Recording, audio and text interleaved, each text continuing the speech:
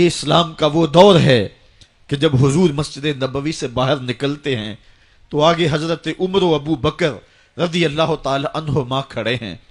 چہرے کے اوپر عجیب اداسی ہے۔ کہا، عمر، ابو بکر، اس وقت کیوں کھڑے ہو؟ عرض کی حضور، بھوک نے گھر میں ٹکنے نہیں دیا۔ ہم نے چاہا حضور کا چہرہ دیکھ لیں تو کچھ پیاس بجھ جائے، کچھ بھوک مٹ جائے۔ حضور نے فرمایا، میرا حال بھی یہی ہے۔ جس چیز نے تجھے گھروں سے نکالا ہے، وہی چیز مجھے گھر سے نکال لائی ہے۔ چلتے ہوئے حضرت ابو ایوب انصاری کے گھر کے قریب سے گزرے۔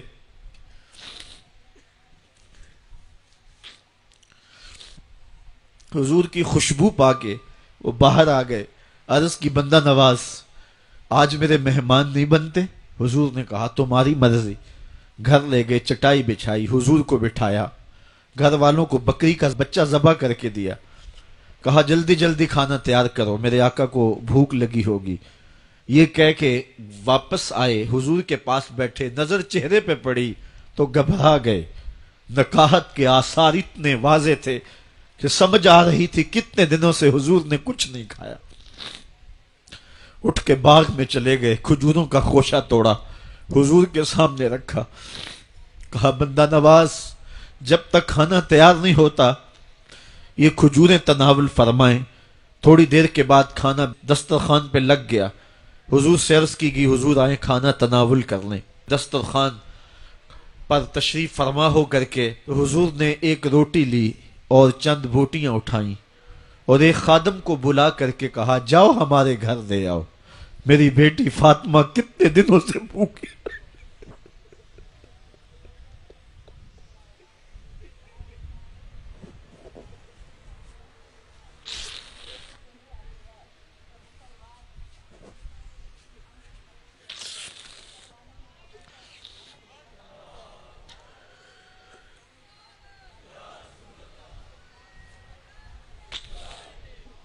کہا جاؤ، ہمارے گھر دے آؤ۔ میری فاطمہ کتنے دنوں سے بھوکی بیٹھی ہوئی ہے۔ مال کے کونین ہیں گو پاس کچھ رکھتے نہیں۔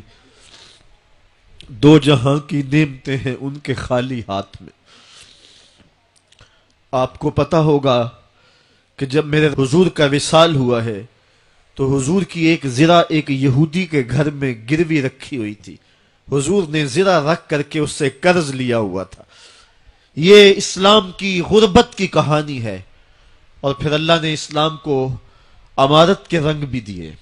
اقبال کہتا ہے، زوال بندہ مومن کا بے زری سے نہیں۔ یہ نہیں ہے مسئلہ مسئلہ پستی ہے، زبوحالی ہے، تعلیمی انحطاط ہے، عملی انحطاط ہے۔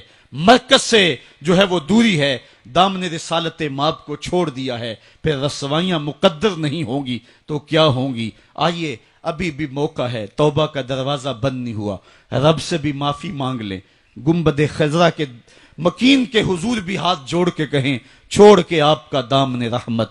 آقا ہم سے بھول ہوئی کھو دی اپنی قدر و قیمت۔ آقا ہم سے بھول ہوئی، دیکھ ہماری آنکھ مچولی اپنے سینے اپنی گولی۔ بھول گئے ہم درس اخوت۔ آقا ہم سے بھول ہوئی۔ علامہ اقبال فرماتے ہیں آؤ، اگر تم دوبارہ اسی عروج کو دیکھنا چاہتے ہو، تو دام نے مصطفیٰ کو تھام لو۔ سارا فلسفہ اقبال نے اپنے اس ایک شعر میں نچوڑا کی محمد سے وفا تو نے تو ہم تیرے ہیں۔ یہ جہاں چیز ہے کیا لوہو قلم تیرے ہیں۔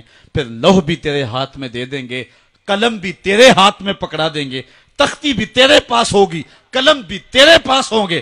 پھر تیری تقدیر کے فیصلے واشنگٹن میں نہیں ہوں گے۔ پھر خدا بندے سے خود پوچھے گا، بتا تیری رضا کیا ہے؟ تو ہم نے ان راہوں کا مسافر بننا ہے۔ آئیو، زندگی کا جمال اور زندگی کا حسن حاصل کرنے کے لیے حضور کی دہلیز پہ آ جائیں۔ بہت دور جا چکے ہیں۔ آقا کی رحمت اب بھی آوازیں دے رہی ہیں۔ میرے بھولے بھالے امتیوں واپس آ جاؤ۔ میں تمہیں سینے سے لگا کے تمہارے پچھلے سارے گناہ بخشوا دوں گا۔ اور رب کہہ رہے ولو انہم ازظلموا انفسہم جاؤ کا ظلم کر بیٹھے ہو، کوئی بات نہیں، میرے محبوب کی دہلیز پہ آ جاؤ۔ میرے نبی کے ہاتھ اٹھ گئے، میں تمہارے سارے گناہ ہی معاف فرما دوں گا۔ اللہ کو توبہ قبول کرنے والا اور رحیم پاؤ گے۔